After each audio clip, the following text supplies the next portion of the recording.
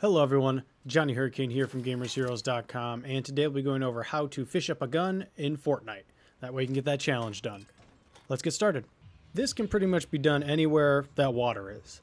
I tend to land in an area that looks like it has a dock on it, like a pier or just like this island that has a dock. There's a lot of them all over. Just look at the map. The reason I land where there is a dock is because normally there is a barrel of fishing poles, so you're not just looking for one.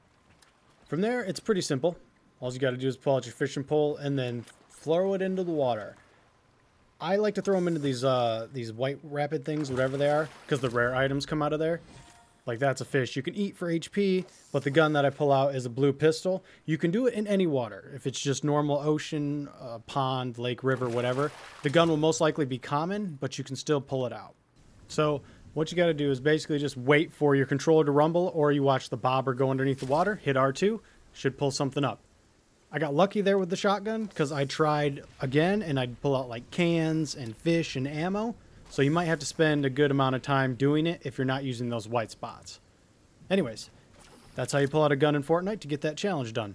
So if you liked what you saw and got what you needed, like, comment, subscribe. See you guys in the next video. Later, Gators.